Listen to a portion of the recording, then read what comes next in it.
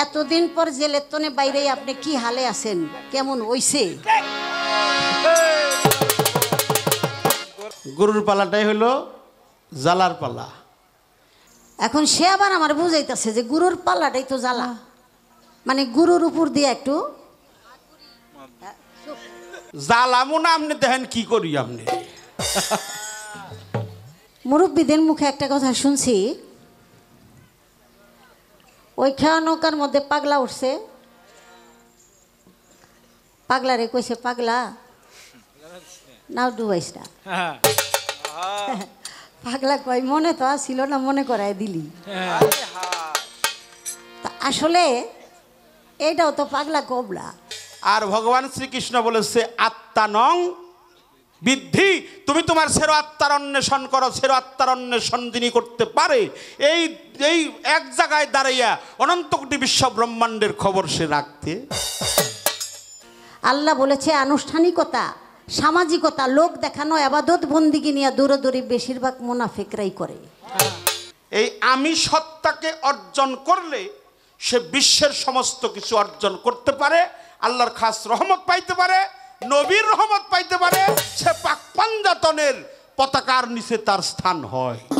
বিসমিল্লার বীজ আপনার মধ্যে আছে আমার মধ্যে আছে।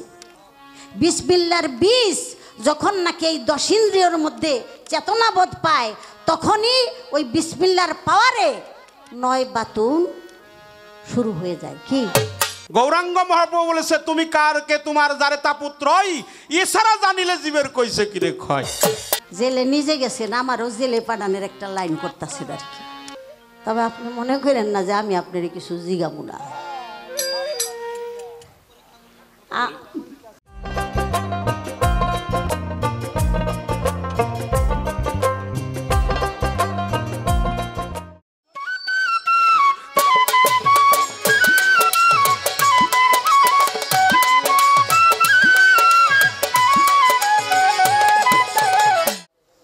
আ- কমিটি দয় তথা দরবারের পক্ষ থেকে আমাদের পালাগানের বিষয়ের পর্ব। পালাটি চলবে সবাকারে গুরু এবং শিষ্যের পালা। আজকে শরীয়ত সরকারকে গাইতে হবে শিষ্যের পালা, আর গুরুর পালা হলো জনাবা আলেয়া বেগম। আমি প্রশ্ন করব ইনশাল্লাহ। তে সে বলছে যে আমার যেন একটু বাসিয়ে টাসিয়ে নেই আর কি। মানে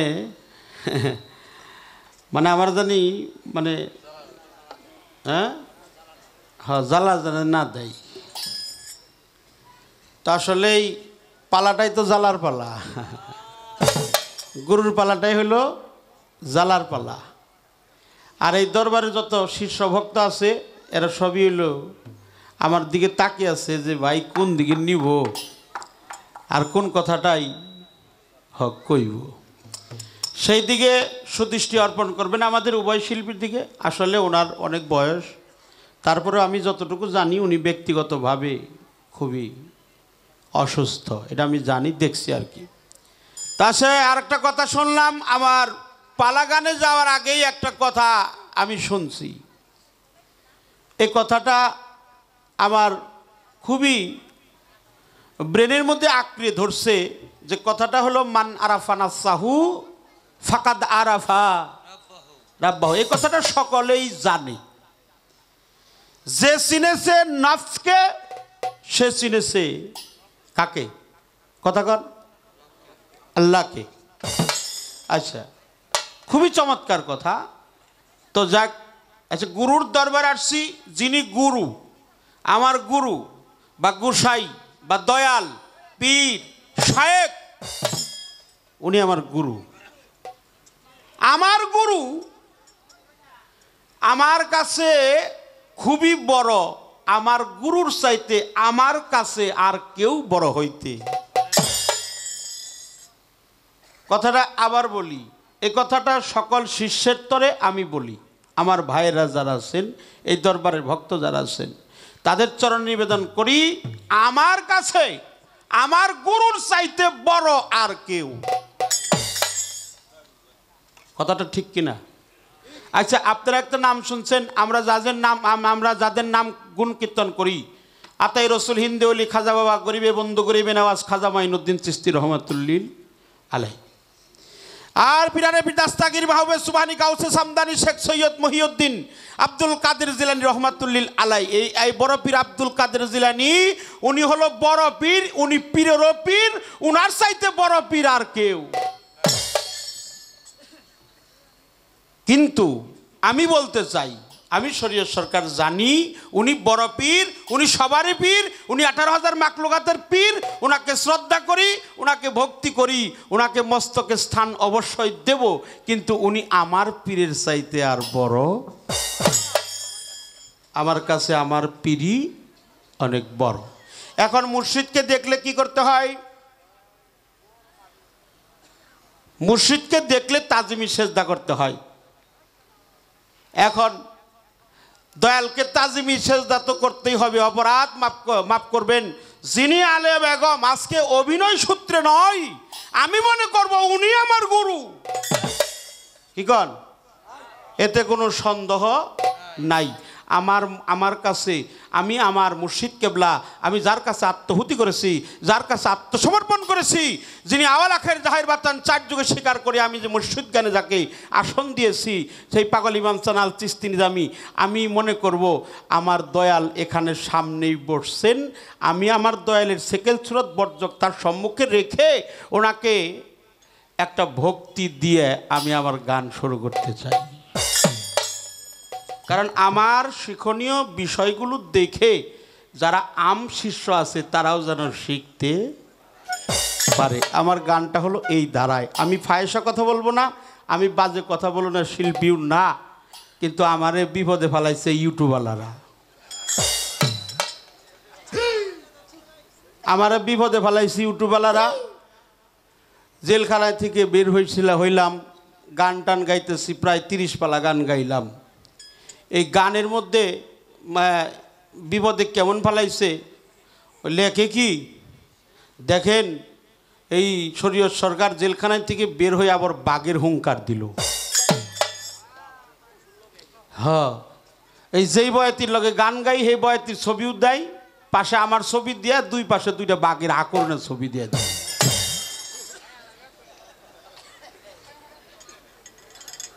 দুইটা ছবি আকরণে দিয়ে দেয়।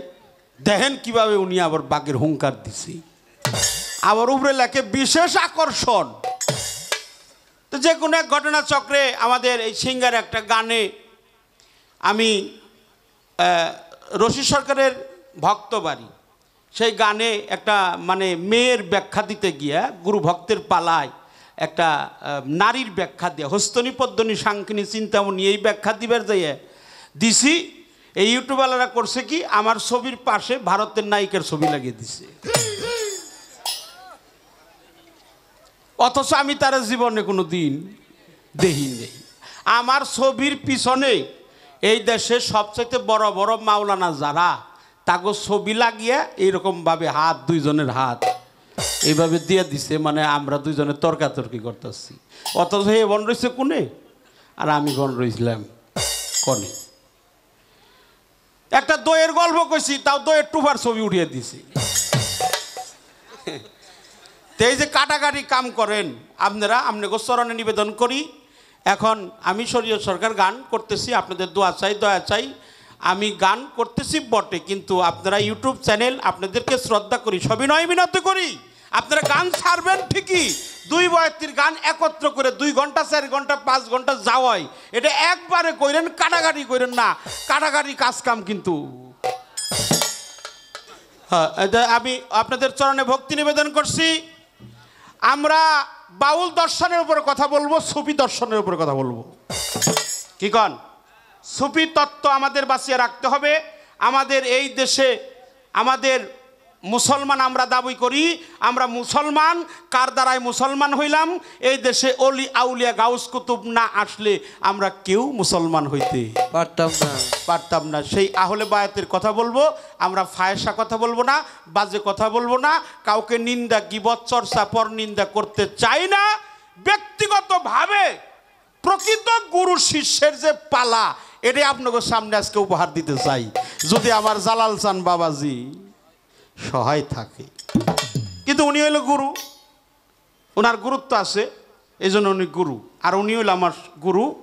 আমার গুরুর চাইতে আর কেউ বড় নাই। আমার কাছে অপরাধ মাফ করবেন। এখন গুরুকে আমি একটা ভক্তি দিব। এখন ভক্তি যে দিব খালি খালি কি ভক্তি দেওয়ান যাব? না না না। তাহলে কি দেওয়ান আহ, আচ্ছা। না না পাঁচশো দেওয়ান যাব না। পাঁচশো দেওয়ান যাব না। কারণ এই শীর্ষ সেবক যারা আছে টাকা পয়সা যা আছে, আমার দয়ালদের দিন না, এই আমার দিবেন। আমার দিবেন কেন? গুরু দক্ষিণা তো। হ দেওয়ান না এই জন্য আপনারা টাকা পয়সা যাই দিবেন, আমার দিয়েন, আমি গুরুরে দিবনি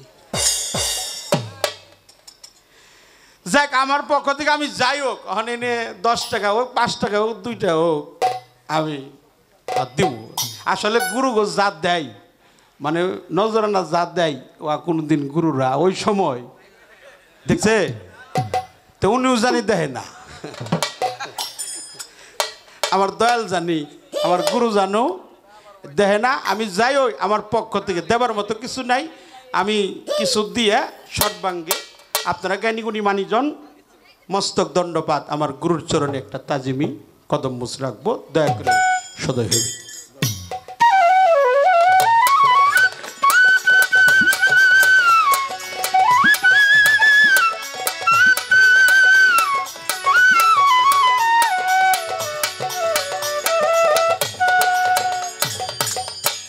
এখন আমি কি আমি কি আমাকে, আমি আমারে নিয়েই ব্যস্ত? আমারে চিন, তুমি তোমারে চিন। মানারাফা নাফসাহু ফাকাদা রাফার আব্বাহু যে নফসকে চিনে, সে আল্লাহকে চিনে। আমার আল্লাহ তাআলা তার পাক জবানে আহ্বান করছে, যার হাত আছে ওই হাত দিয়ে ধরে নাই, যার পা আছে পা দিয়ে চলে নাই, যার চক্ষু আছে চক্ষু দিয়ে দেখে নাই, যার কর্ণ দিছি কর্ণ দিয়ে। শুনে নাই যার অন্তর আমি আল্লাহ দিছি, কিন্তু অন্তর দিয়ে কখনো সে উপলব্ধি করে নাই।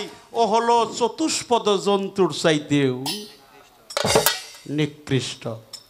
তাহলে আল্লাহ কইল এই কথা, আর নবী কইল, তুমি তোমার চেন? মাওলা আলিও কইসা কি কথা। সক্রেটিস বলছে, নো দাই তুমি তোমারে মহাপ্রভু গৌরাঙ্গ মহাপ্রভু বলেছে, তুমি কার কে? তোমার যারে তা পুত্রই এছাড়া জানিলে জীবের কইছে কিরে ক্ষয়। আর ভগবান শ্রীকৃষ্ণ বলেছে, আত্মা নং বৃদ্ধি। তুমি তোমার সেরো আত্মার অন্বেষণ করো, সেরো আত্মার অন্বেষণ যিনি করতে পারে, এই এই এক জায়গায় দাঁড়াইয়া অনন্ত কোটি বিশ্ব ব্রহ্মাণ্ডের খবর সে রাখতে পারে। আমাকে পশ্চিমবঙ্গ আর হলো পূর্ববঙ্গ। পশ্চিমবঙ্গে পড়ছে হলো কুষ্টিয়া আর পূর্ববঙ্গে পড়ছে হইল এই মানিকগঞ্জ হরিরামপুর। এই হরিরামপুর থানায় জিটকা শরীফ আসছে, ওনার নাম হলো সুফিকুলের শ্রেষ্ঠ সম্রাট দেওয়ান শাহ আব্দুর রশিদ আল চিস্তি নিজামি। তিনি রশিদ ফকির নামে উপাধি পেয়েছে, রশিদ ফকির। যার ভক্ত ছিল কুষ্টিয়া উদিবাড়ি মাওলানা মনসুর শাহ, ওনার ভক্ত হলো ভারত বাংলা মিলা হইল বাহাত্তর লক্ষ মুসলমান। এই লালন ফকির বলছে আপনারে চিনতে পারলে যাবে তোর সেনারে চেনা। সে না ও যার আপন খবর আপনার হয় না। হয় না। দেখেন আমাদের ধর্মযাজক যারা আমাদের আল্লাহ তার পাক জবানে রসুল তার পাক জবানে মাওলা আলী কারিমুল্লাহ অজহু যিনি পাক পাঞ্জাতনের উত্তরসরি প্রধান ইমাম পাক পাঞ্জাতনের বেলায়েতের সম্রাট যিনি বেলায়েতের সম্রাট, যিনি মাওলায়াতের সম্রাট, তিনিও বলছে, তুমি তোমারে চিনো। আচ্ছা আমি আমারে চিনুম। এটা আপনার কাছে আমার প্রশ্ন, এই আমিটা কি? কি কন? আচ্ছা আমারই খালি চিনবার কয়। তাহলে এটা আমার হাত, এটা আমার পা, এটা আমার চক্ষু, এটা আমার কর্ণ, এটা আমার মাথা, এটা আমার কপাল, এটা দুই ভুরু যুগল, এটা নাসিকা, এটা কান। এটা বক্ষ বক্ষদয় এটা পৃষ্ঠ পৃষ্ঠদেশ এটা কোমর। আচ্ছা এই দেহের মধ্যে আমি কোনটুকু যে ওইটারে চিনলে আল্লাহরে চেনা? প্রথম প্রশ্ন জালামু না আপনি দেখেন কি করি আপনি?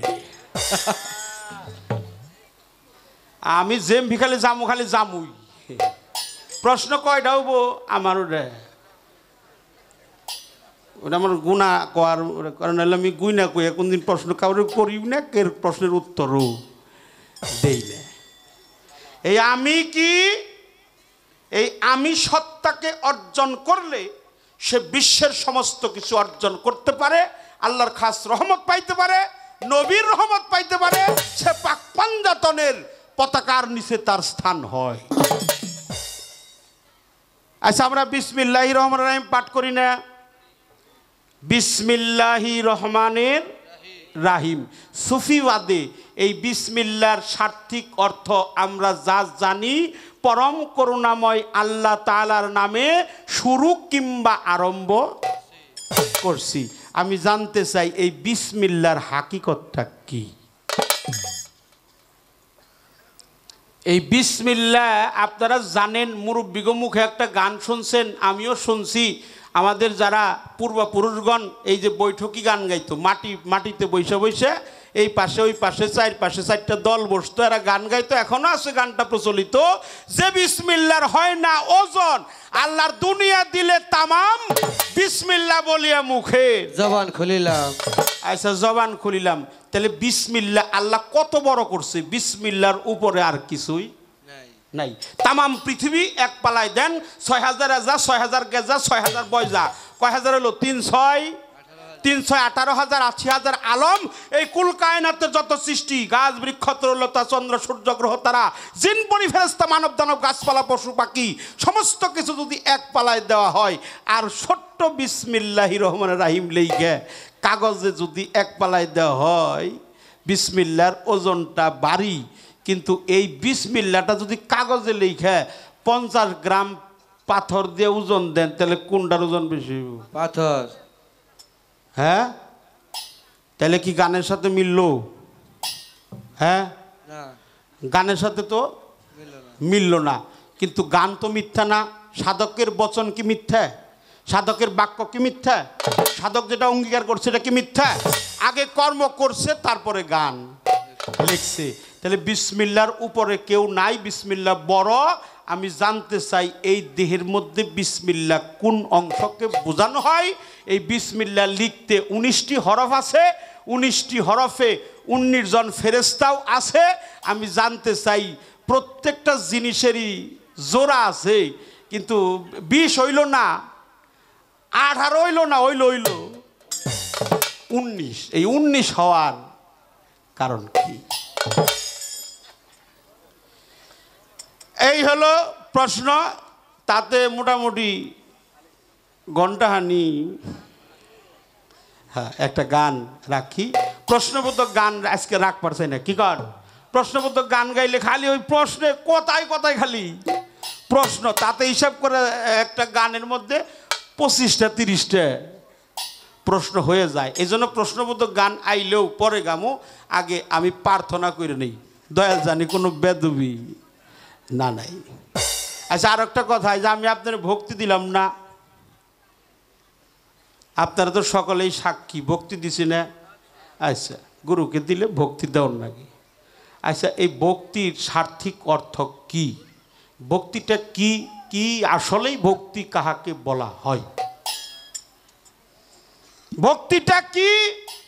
ভক্তিটা মস্তক অবনত করে মস্তক অবনত করে আমি অষ্টাঙ্গে পরে ভক্তি দিলাম। মাথা নিচু করা আর অবনত করা, কথা কি? একটাই। মস্তক অবনত আর মাথা নিচু, এটা ভক্তির রূপক, ভক্তির ছুরত। এই ভক্তি বা সেজদা বা তাজিমি, এটা সেজদা কইরা কেউ মুক্তি পায় নাই শরীর সরকারও পাবে না যদি তার অন্তরের ভক্তি। কি কন? ঠিক না থাকে। আমি জানতে চাই, এই ভক্তির সার্থিক অর্থটা কি? ভক্তি কি স্ত্রীলিঙ্গ না পুরলিঙ্গ? এটা আমাদের তরিকপন্থী মানুষ যারা, সুফিবাদের লোক যারা যারা আমরা আহলে বিশ্বাস করি, একান্ত নিত্য নৈমিত্তিক প্রয়োজন। এই কর্মগুলো যদি কেউ করতে পারে, বাস্তবায়ন করতে পারে, আগে শুনব, পরে করব। এই কর্মগুলো করলে সে কখনো ভ্রান্ত পথে চলাচল করতে পারে না। একটা গান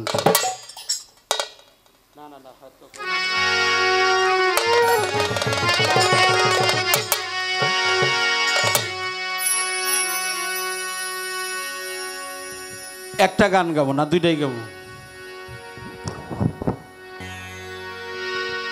হ্যাঁ হ্যাঁ।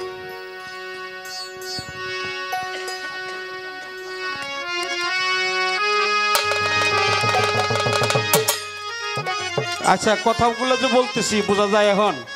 আচ্ছা। আপনাদের কাছে অনুমতি নিয়ে নিলাম। সাউন্ডটা একটু ভালো করে দিও বাবা ইনশাল্লাহ।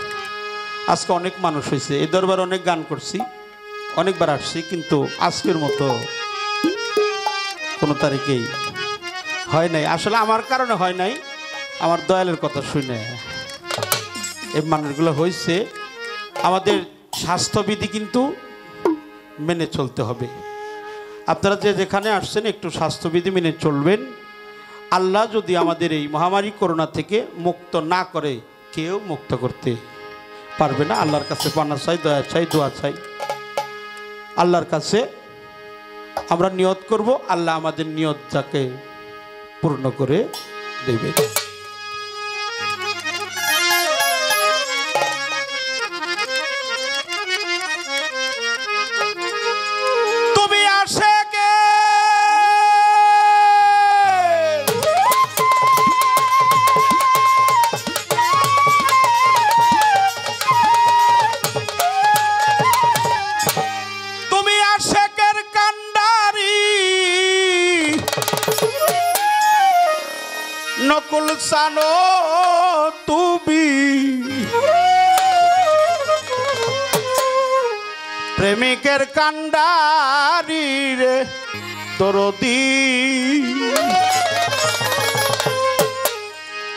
বাজান আমার বাবুকের কান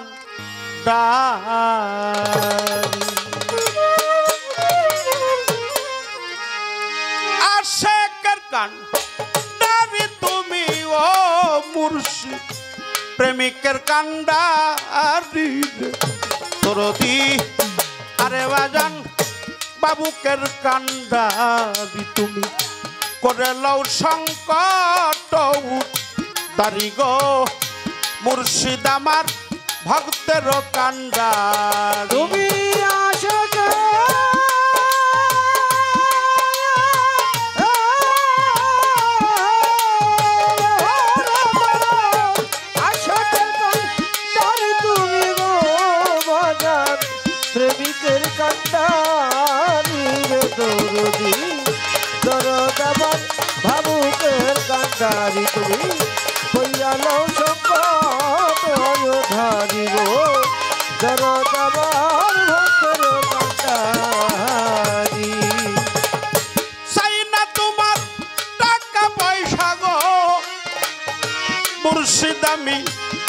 না জমিদারি।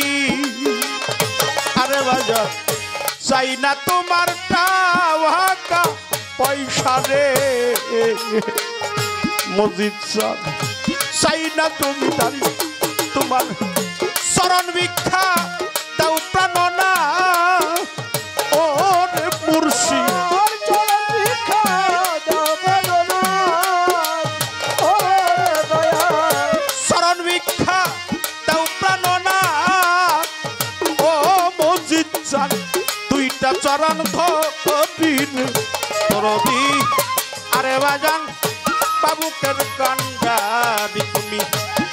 করে লও সংকট তারি রে। মজিদ সানমর ভক্তের কান্ডা কইলালাও সংকট থারি গো।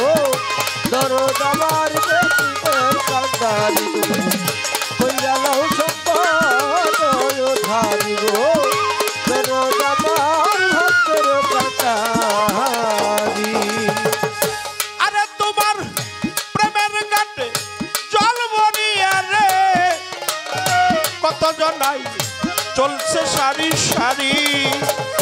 প্রেমের গাটে জল ভরিয়া রে। নকুল সাধু কত জনাই চলছে সারি।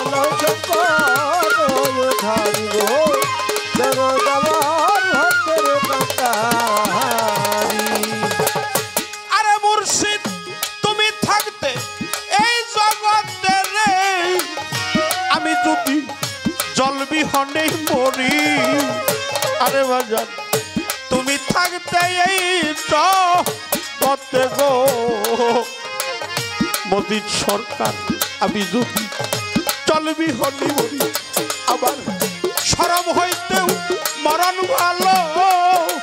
ও নকুল সা আমার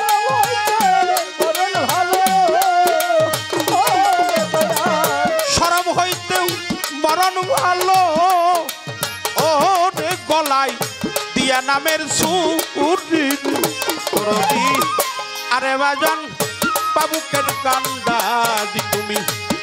লাউ সংকট দাঁড়ি গো মুর্শিদ আমার ভক্তের কান্ডারি।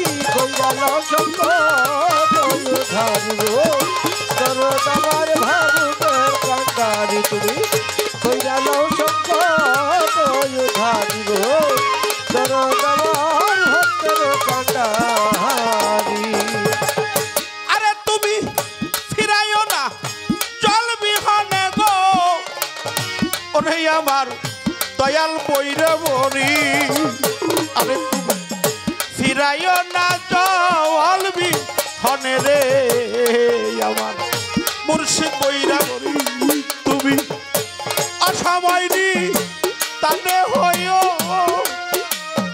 ও তুলসা অসময়নি তানে হইও। ও তুলাসান রশিদের কান্ডা আর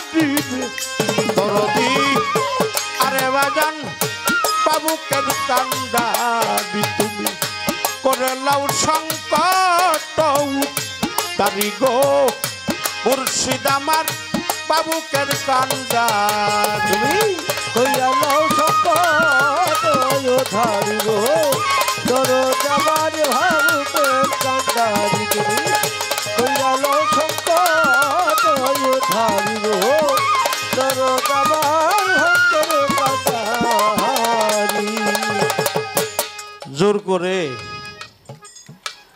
কখনো দয়ালের বস্তু।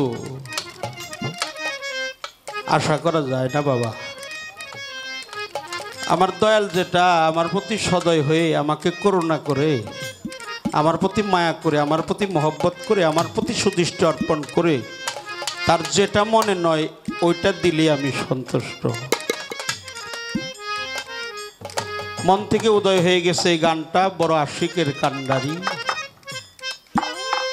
আমার মা অত্যন্ত চমৎকার একটি গান। আমাদের ফরিদপুরের সাধক হালিম বিয়াল চিস্ত্রি জামি। আমি রেখে গেলাম সোনার ছবি। আবার এসে দেখলাম, না, তুমি এমন করে সেরে যাবে। বন্ধু, আমি আগেই তো জানি না। আজকে এই বৃন্দাবন ধাম শূন্য হয়ে গেছে। বাগানের কি শোভা আছে রে? যদি বাগানের মালি লুকিয়ে থাকে। এই বাগানের মালিককে? এই বাগানটা পরিচর্যা করে কি? এই বাগানটা পরিচর্যা করে হলো আমার মসজিদ চান সরকার। আজকে কত আশেকান দরবারে আসছে। দয়াল নেই।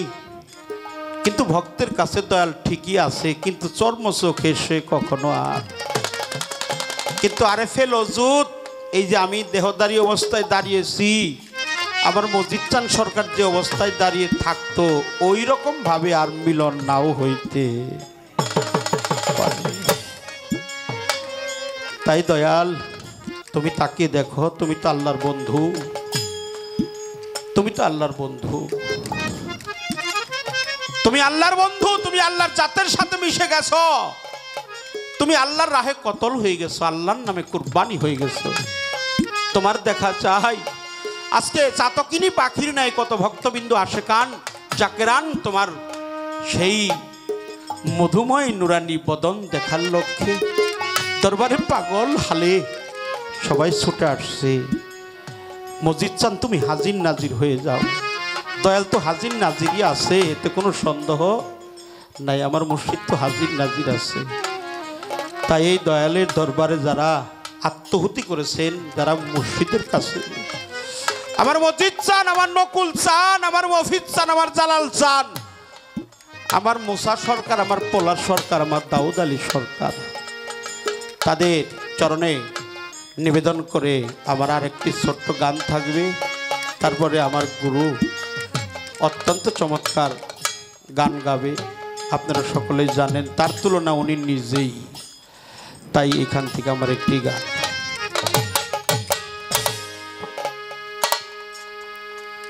ওরে আমি তোর নামে বা সাইলাম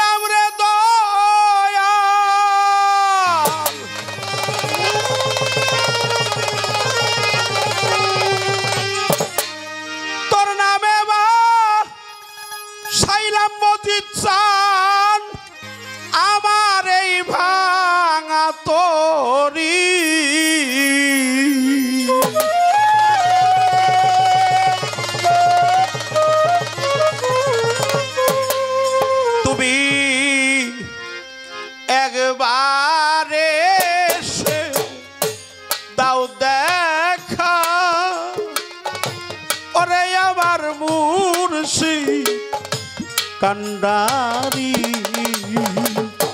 আরে তুমি একবারে এসে দাও দেখা।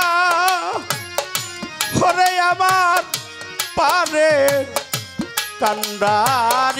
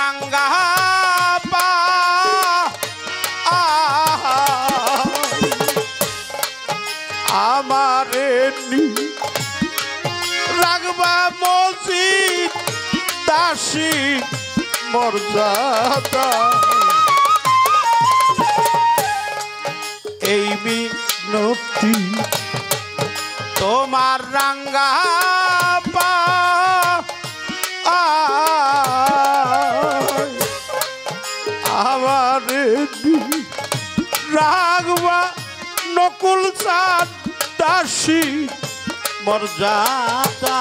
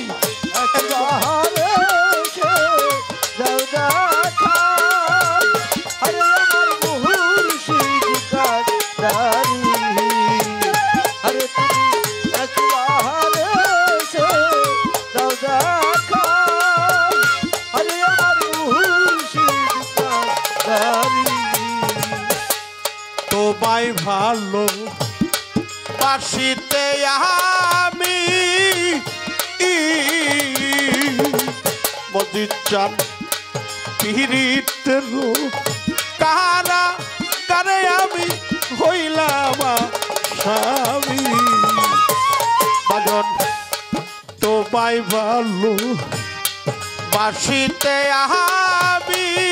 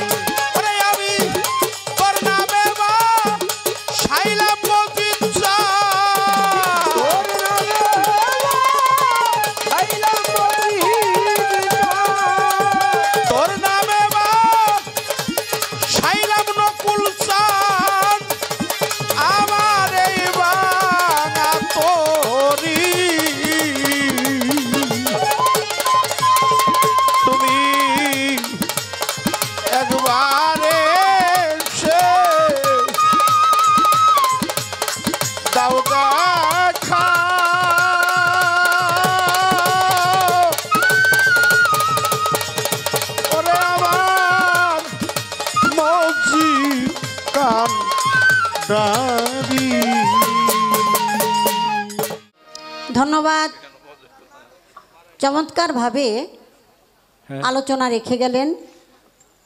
আপনারা সবাই তাই শুনতে পেলেন। মুরব্বীদের মুখে একটা কথা শুনছি। ওই খেয়া নৌকার মধ্যে পাগলা উঠছে। পাগলা রে কইছে পাগলা নাও ডুবাইস না পাগলা কয় মনে তো ছিল না মনে করায় দিলি। তা আসলে এটাও তো পাগলা কবলা কথা সত্য। আমি খালি কইছিলাম যে গুরুর উপরে তো অনেক বুঝা বিরা তা আপনি তো বুঝেনি। তা আমারে বেশি একটা জ্বালা দিয়েন না। দিয়েন না। এখন সে আবার আমার বুঝাইতেছে যে গুরুর পাল্লাটাই তো জ্বালা। মানে গুরুর উপর দিয়ে একটু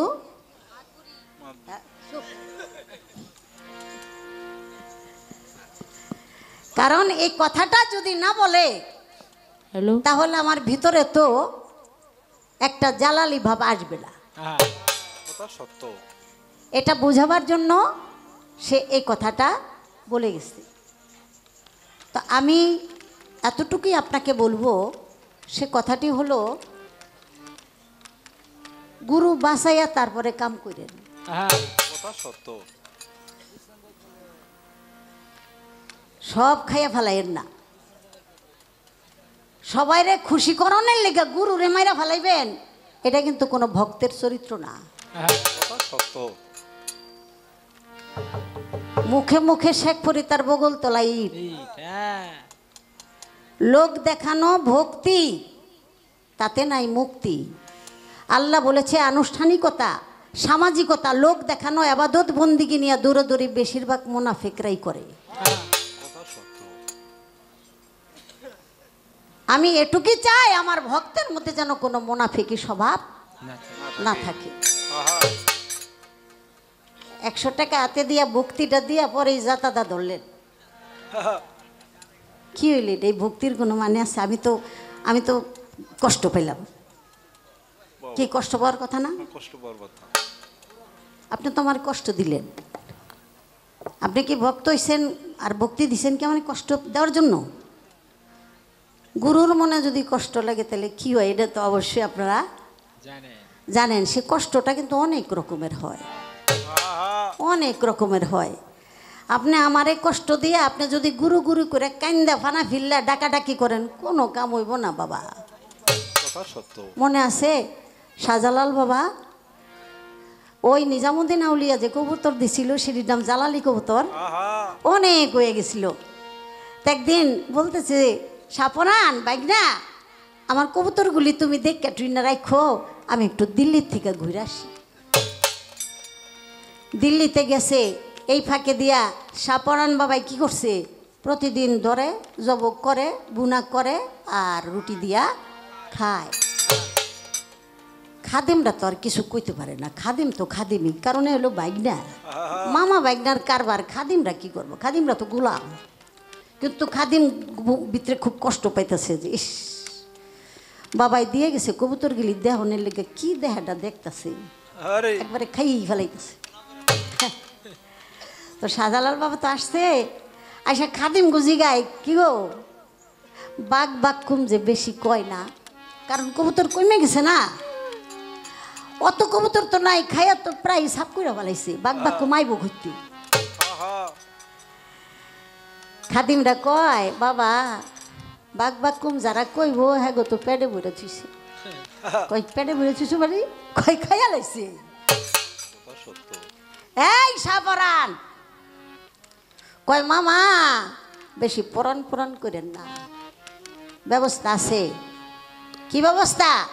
কবুতর খাইছি। কিন্তু ওই যে ফোর টোরগুলি জোলার মধ্যে থুয়ে দিছি।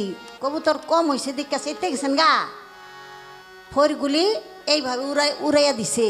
উড়জা উড়জা কইছে আর ঝাঁকে ঝাঁকে কবুতর উড়া যাইতেছে। শাহজালাল বাবা কইল, বাগিনা একটু বেশি হয়ে গেল না।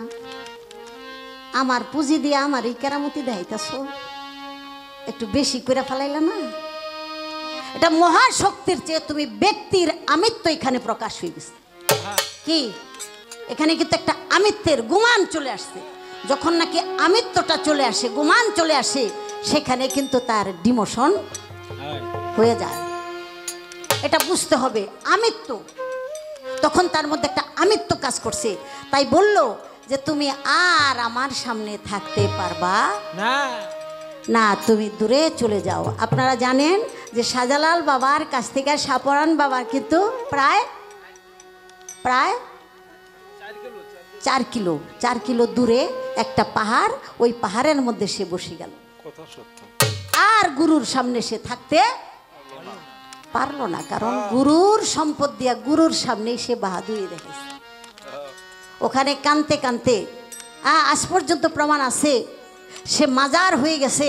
মাজারের উপরে যদি কেউ একটা শুকনা কাপড় দেয় ওই কাপড়টা কিছুক্ষণ পরে ভিজে যায়। কারণ সেই মাজারও কামতেই আছে কামতেই আছে। এই কামটা যে কবে শেষ হইব, এটা কেউ কইতে পারে না। জেলে নিজে গেছেন আমারও জেলে পাঠানোর একটা লাইন করতেছেন আর কি। এটা তো ওই জেল না, এটা হলো বেদনার জেল। আমারে কিন্তু বেদনার জেলে আপনি পাঠাই দিছেন। আপনি বিসমিল্লার কথাটা জিজ্ঞাসা, এখন কি করে বিসমিল্লার কথা? বিসমিল্লার বীজ আপনার মধ্যে আছে, আমার মধ্যে আছে।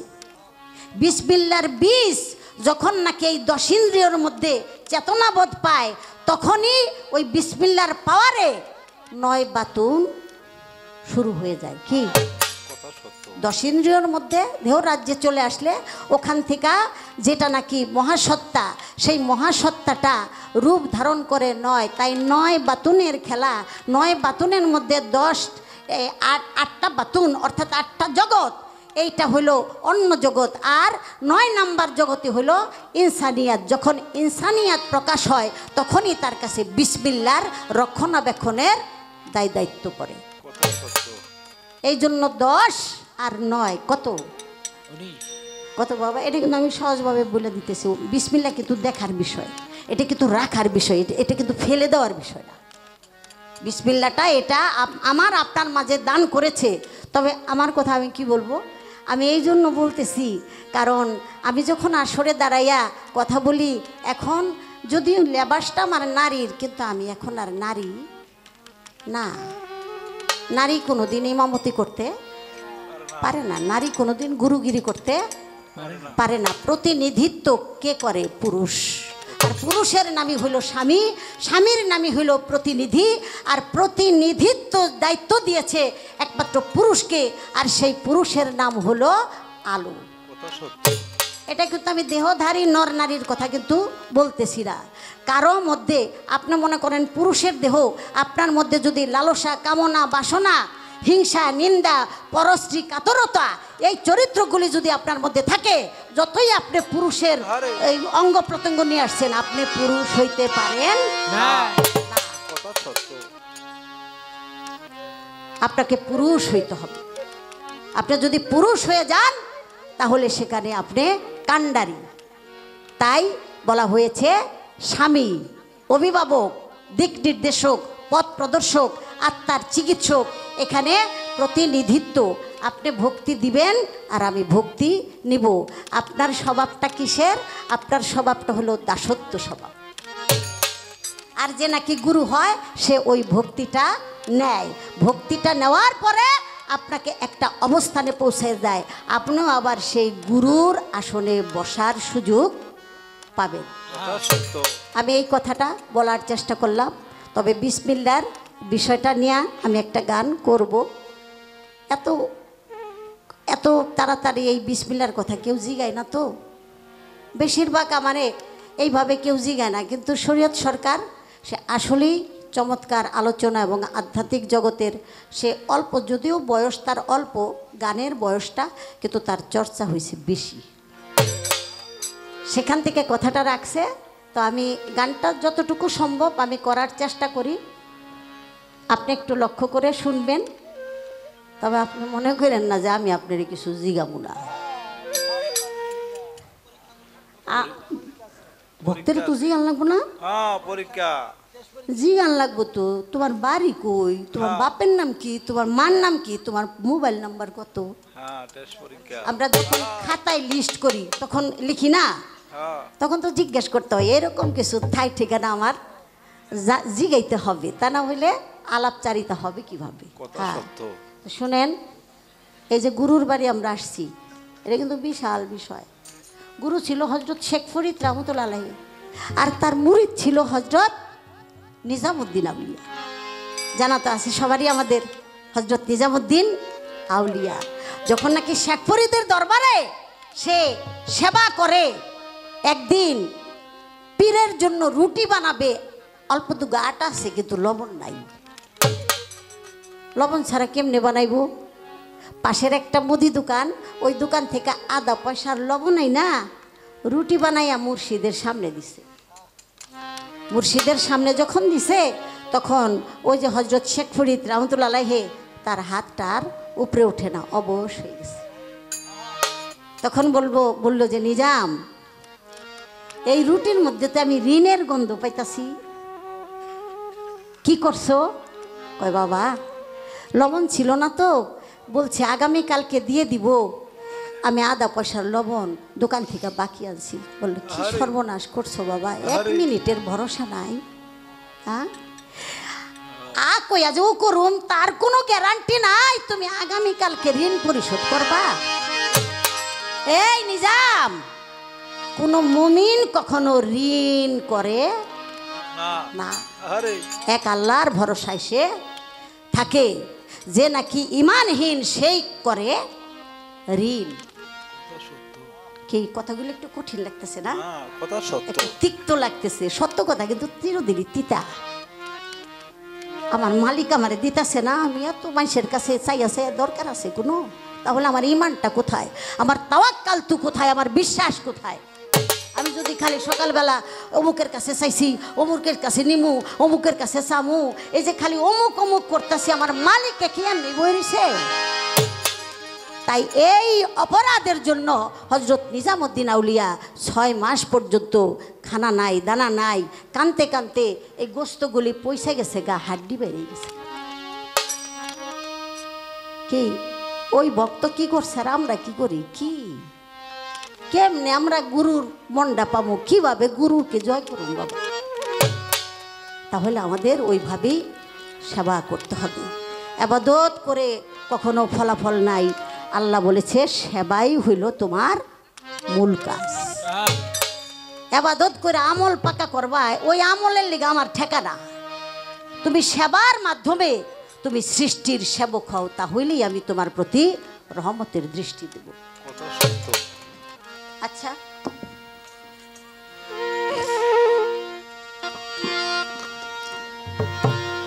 লামাউতে গঞ্জ যাতে বিসমিল্লাহ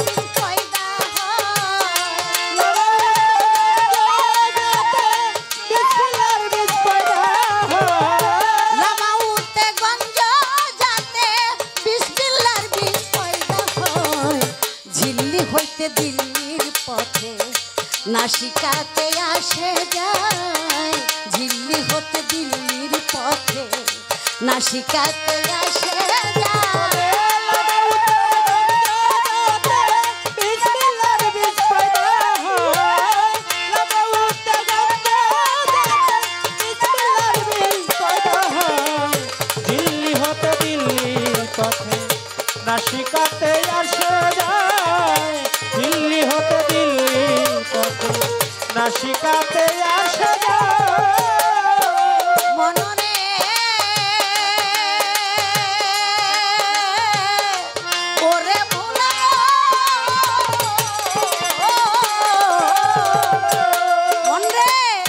আহাত হইতে দমের সৃষ্টি দম হইতে হয় নূরের সৃষ্টি।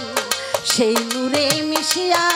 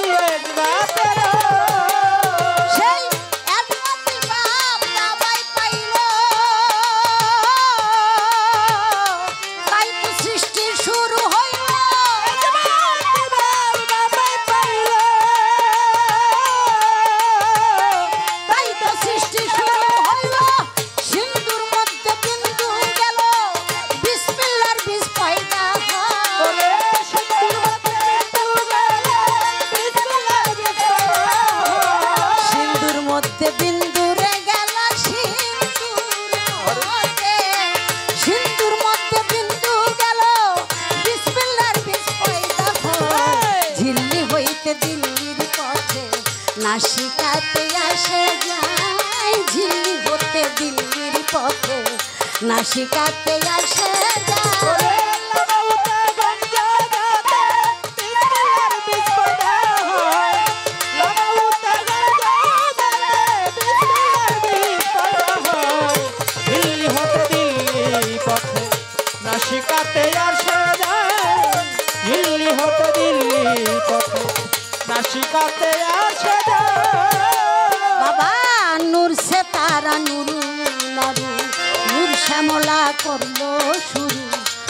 পদ্ম হয় বিশ্ব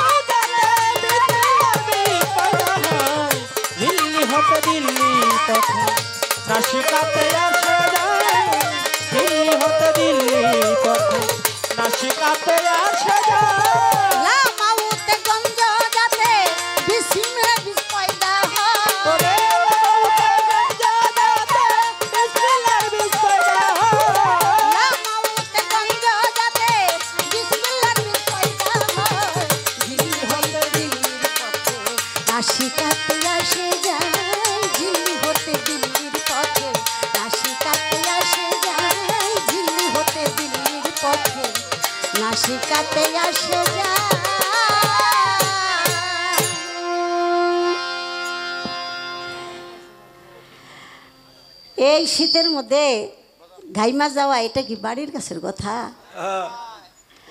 তবে জগৎ জুড়ে ওনার মতো দু একটা শিষ্য যদি পাওয়া যায় তাহলে গুরুর আর বেশি দিন দুনিয়ায় থাকার আউস থাকবে না। তারপরও ভালো লাগে, কারণ খোঁচা না দিলে মশা বেরোয় না। এটাও দরকার। সে দিল ভক্তি, আমারে কইতাছে এই ভক্ত কারে কয়? ভক্তি ভক্তিটা ভক্তিটা হলো অনুগত। ভক্তিটা হলো অনুগত আত্মসমর্পণ। আপনি যখন আমাকে ভক্তি দিলেন অর্থাৎ গুরুকে ভক্তি দিলেন তখন আপনার মস্তিষ্কের ভিতরে যে অহমিকা ইবলিশ শয়তানের অস- অসোয়া সেটা দূর হয়ে গেল। কথা সত্য।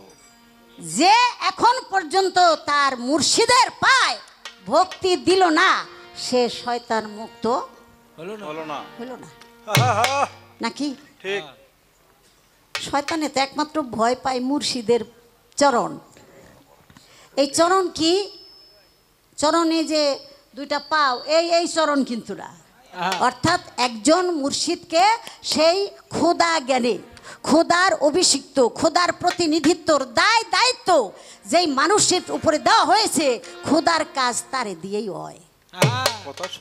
অতএব সেই জ্ঞানে যখন নাকি আপনি ভক্তি দিবেন মাথা অবনত করবেন সাথে সাথে আপনার ভিতরের মধ্যে যে অহংকার অহংকার নামই তো হইল ইবলিশ শয়তান। অহংকার মুক্ত হয়ে গেলে আপনার অন্তরের মধ্যে কালবের মধ্যে আলো যুক্ত হয়ে যাবে। যখন আলো যুক্ত হয়ে যাবে তখন আপনি ভক্ত হতে পারবেন। ভক্ত না হওয়া পর্যন্ত আপনার ভিতরে কখনো সেই আলো প্রবেশ করবে না। না। এবার আমি একটু সুরের মধ্যে যাই খাতাটা দাও দেখি কি লাগছে তোমরা তো কইবেই না।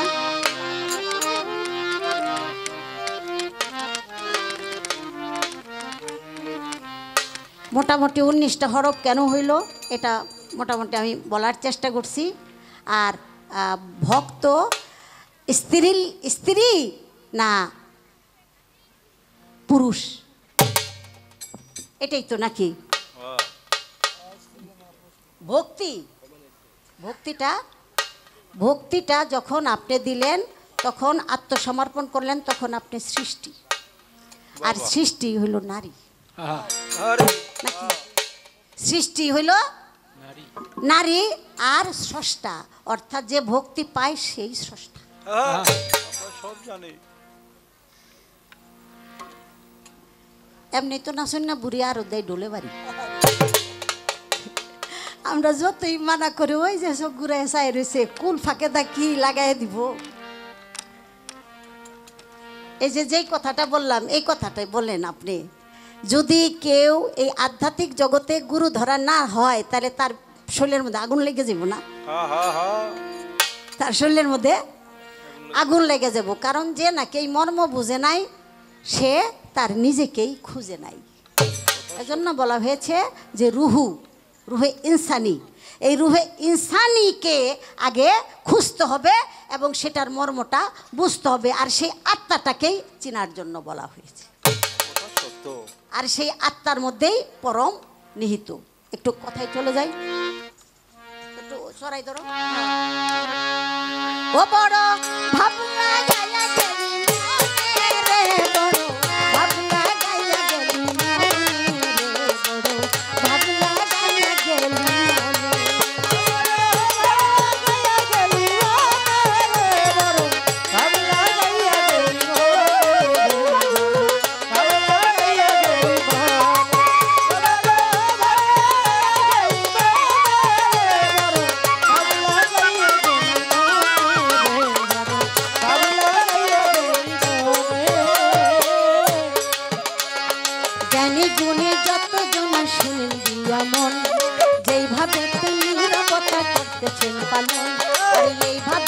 সবাই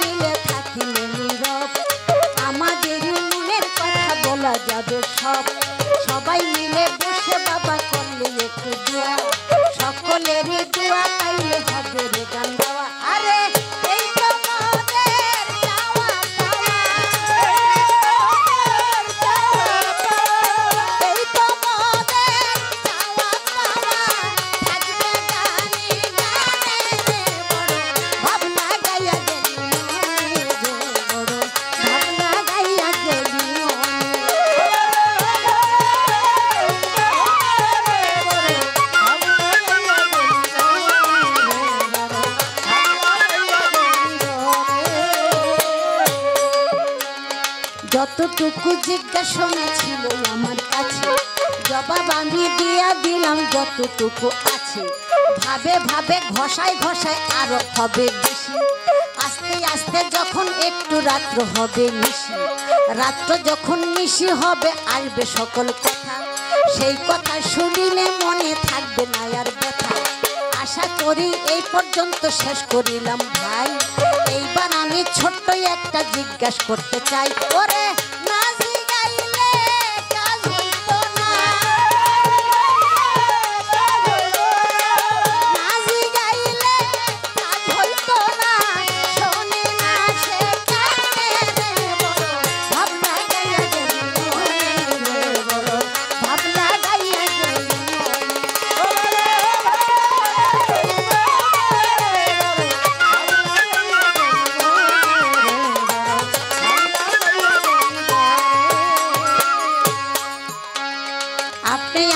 শিষ্য হইলেন আপনার কাছে বলি।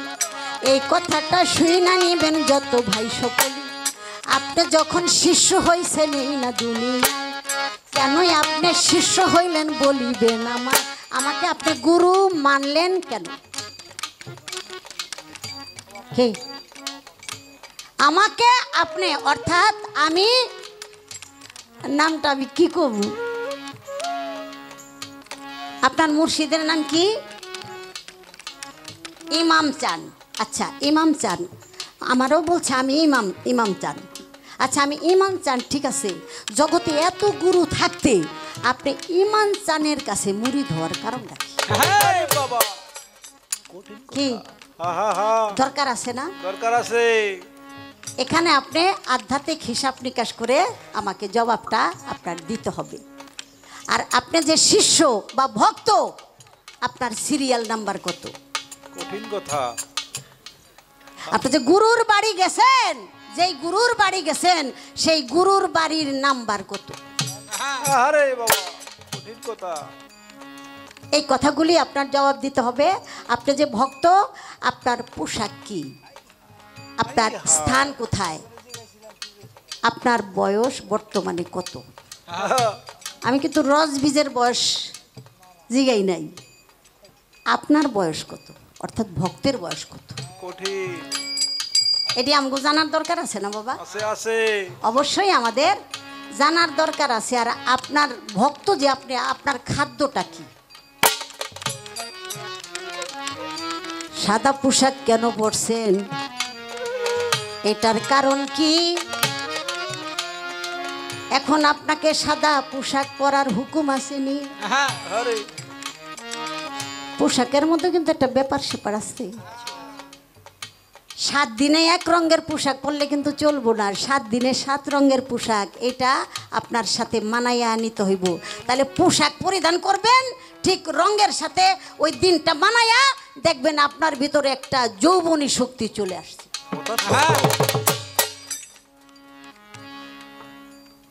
এই জন্য আপনার কাছে আমার কথাটা রয়ে গেল।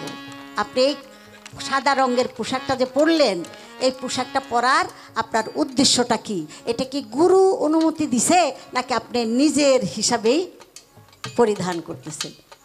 আশা করি বলে দিবেন। এটা কিন্তু প্রশ্ন না। এটা একটা পোলাপাইন্না তামসা খেলা অন্য কিছু না। আমি অন্যদিকে চলে যাই। আপনার কাছে মন। আশা করি সেই কথাটা করিবেন পূরণ।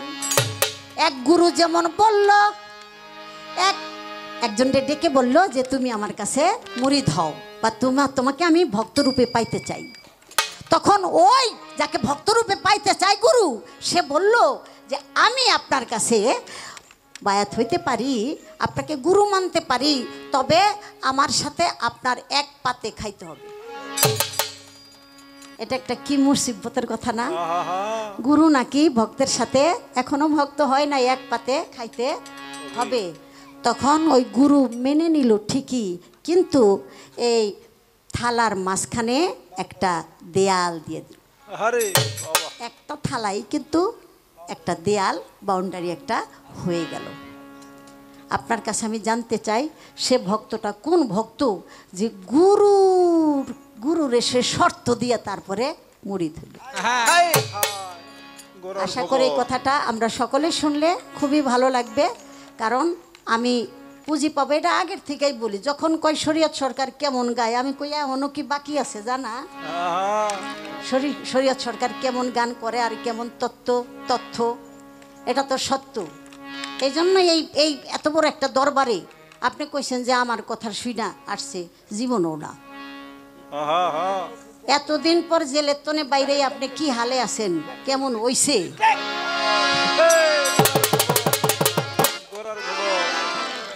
আমি এই দেশে গান করি কি আজকা কালকার থেকে? আরে বাবা। মানিকগঞ্জের থেকে আইটা আইতাম ওই সমীর উদ্দিন মুন্সির দরবারে। মানিকগঞ্জের থেকে আইটা আসতাম কোনো ব্যবস্থাই ছিল না। হাঁটা ছাড়া। তখন একদম পিচ্ছি একটা ফরক আর একটা হাফ প্যান্ট পরি আমি। আর এই যে কালুসা বাবার দরবারে এন তো পরেই থাকতাম। ওই যে আমগো ঠান্ডু ঠান্ডু কাকা তারপর আমার ডাল্লু ভাই তাগোর সাথে তো এক সম্পর্ক ছিল। এখানে তো আমি পরেই থাকতাম গান টান করতাম। তো হাইটা হাইটা আসতাম। তো এই জন্য আমি কি জানি আর না জানি মানিকগঞ্জের মাসে এগুলি ঠোঁটস্থ মুখস্থ কণ্ঠস্থ। আমারে দেখার জন্য আসে না আসলে আমিও আপনারই দেখতে আসছি। তাই না? আহা, যেদিন থেকে মুরগিতে ডিম পাড়া শুরু করে সেদিন থেকে কিন্তু ডিমের উপর একটা মহব্বত হয়ে যায়। তাই হয় না? সেদিন থেকেই মহব্বত হয়ে যায়। দৌড়াইয়া দৌড়াইয়া ডিমের কাছে আসে। গুরু কিন্তু ওই মুরগির মতোই হয়ে যায় গা। যেদিন থেকে তার ভক্ত শুরু হয় সেদিন থেকে ওই ভক্তের দিকেই সে ছায়া থাকে নজর। যখন বাচ্চা ফুটে তখন একটু বৃষ্টির ছিটা ফোটা পড়লে পাকনাটা ছড়াইয়া দেয় পাকনার নিচে বাচ্চাগুলি আসে একেবারে নিরাপদ। এজন্য আমাদের সাদুল্লাপুর কামাল শাহ বাবা বলে ভক্তরা আসে কত ভালো লাগে অগর দিকে তাকাইলে। ওরা যখন চলে যায় মনে হয় যেন আমার কলজাটা বাইরিয়ে যায়। আমি যেন খালি হয়ে যাই বারবার খালি ফুসকি দেই দরজার এদিক ওদিক তাকাই দেখি ওরা আবার ফিরে আসে নাকি। ওরা বিদায় নাই আমি একটা গল্প করি যে ওরা নাকি এই উসিলা একটু বসে দেখি কি না। তাও বসে না। কিন্তু মা তোমার কাছে মনের দুঃখটা কইলাম গুরুগিরি করা তো এই মুরগির স্বভাব। এরকম না? গুরুর শুধু ভক্তের দিকে তাকায় থাকে কিন্তু ভক্তরা সেটা বুঝতেছে না। ভক্তেরা কয় বেগুন খেতে পানি দিতইব গরু গা গরু আছে ঘাস কাটতইব আবার চোর ডাকাইতে হয়ে গেছে গাড়িরে পাহারা দিতইব। কিন্তু গুরু ধইরা এখনও গরুর চিন্তা করলে সে গুরুর ভজনটা করবে কখন? কথা সত্য। আপনি একটা গান করছেন না? একটা কান্ডারি কান্ডারি কান্ডারি করে ডাক দিছেন এই জন্য আমার পাশাপাশি একটা গানের দরকার। আপনি যেমন বিচ্ছেদের ভাবে যেভাবে আবেগী কথা বলতেছেন সেটা সকলের মনে একটা তীরের মতো লাগতেছে। কিন্তু আমার তো আপনাকে বুঝাইতে হবে সেইভাবে একটু বোঝাবার চেষ্টা করতেছি।